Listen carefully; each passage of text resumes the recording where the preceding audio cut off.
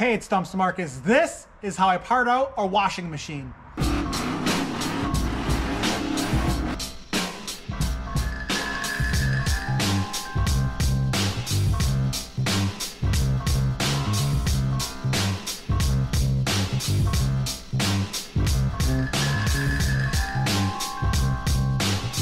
All right, when I get a washing machine from a customer call or someone that I know, I always ask, what's wrong with it? Well, this one, the springs that hold the drum in, some of them broke. So they were going to get it fixed, but they just went out and bought a new washing machine. So first off, you look at the model. This is a Roper, and usually the model is inside here. So when you open the door, it's usually right here. It says MOD and it's RTW4640YQ1. So let's look this up on eBay. I think that's how you say it. So when I look up Roper washer parts and I put the model number in there, uh, no results come up. Some stuff sold that says fits Roper parts. So another thing I like to do is on a simple washer like this, there's no motherboard. There's just this part, that part, and that part. And sometimes most of these parts are interchangeable. So you have to take this part off and look at the part numbers on these. Most of these washers, uh, they have a panel on the back and there's mostly just a couple screws and the whole panel comes off.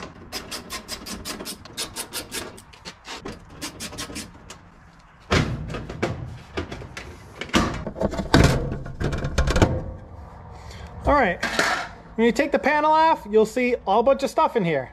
All right, you have the one switch here, the one switch here. So there's the one switch. This is a switch that says small, medium, large, cold, warm, hot. It's got that little sensor. And then the big, this does have a motherboard.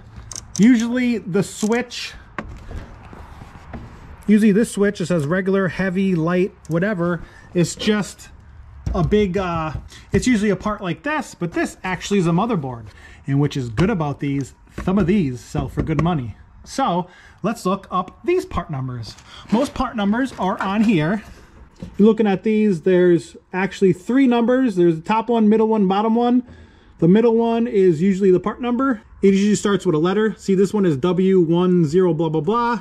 Then you look at this part number, and it is W104 blah, blah, blah.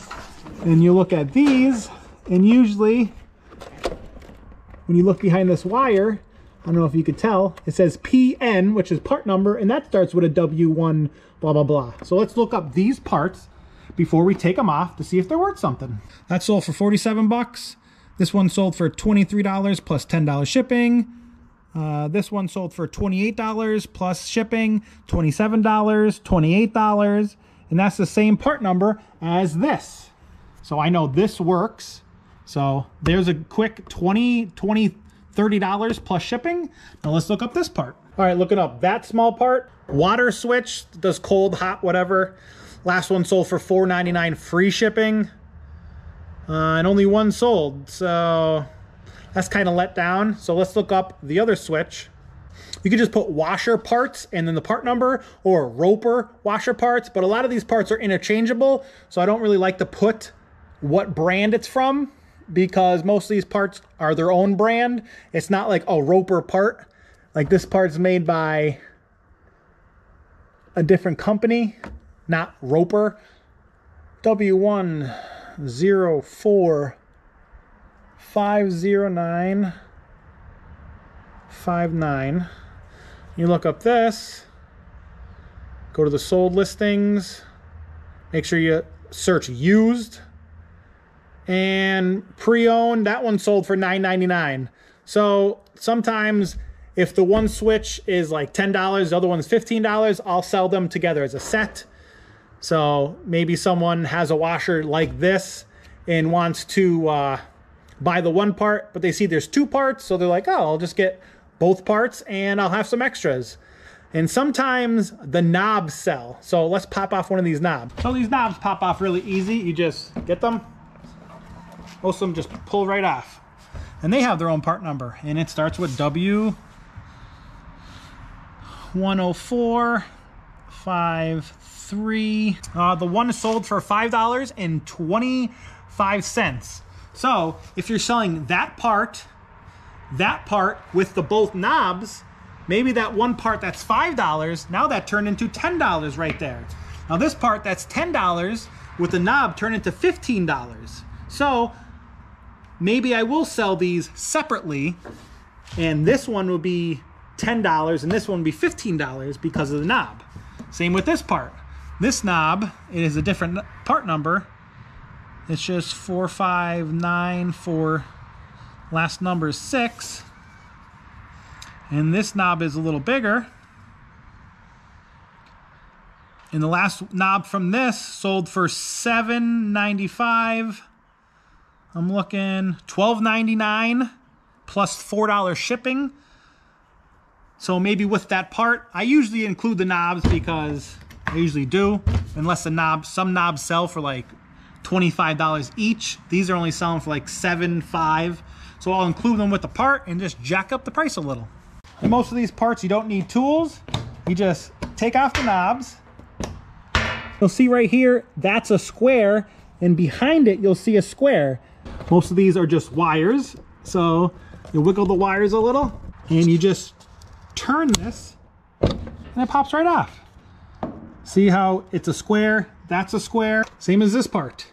This has a little clip right here. You'll pull that clip,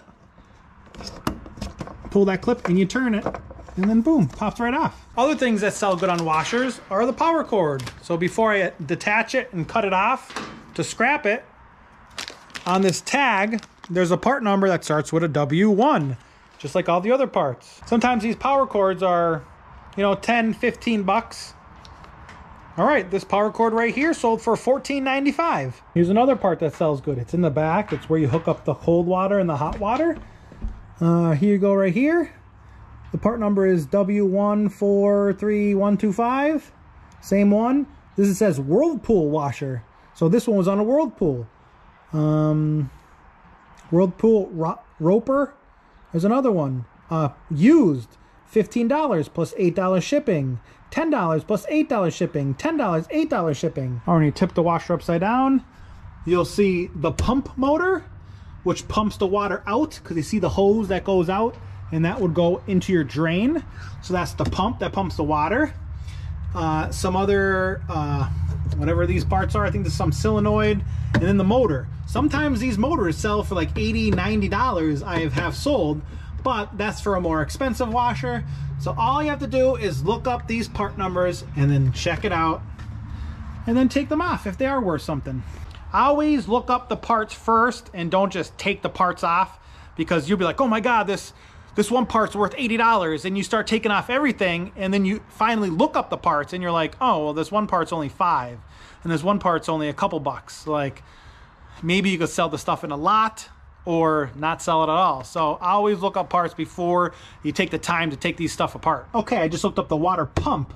The pump, no used ones sold, no new one, no used ones are listed, and there's only a couple, there's three of this part number that actually sold, but they're brand new, and they sold for like 10 $15.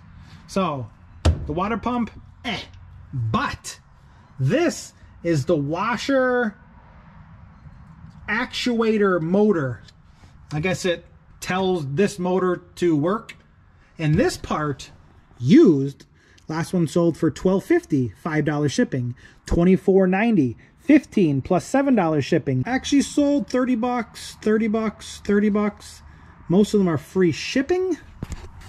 So the motor is kind of small, so it'll fit in a medium flat rate box. And I think those are like $12 to ship when you buy a label from eBay. So 30 bucks minus 12, you know, you make good 18 bucks off that motor. And most of the new washers, uh, the motors, they're not copper, they're aluminum. So like most scrapyards won't even take them. So I'm going to take this off and sell it. All right, and you could go all day looking up part numbers and searching stuff, but right now this is everything that the washer has. The only thing I'm not taking off is the pump and this is gonna go in that scrap trailer.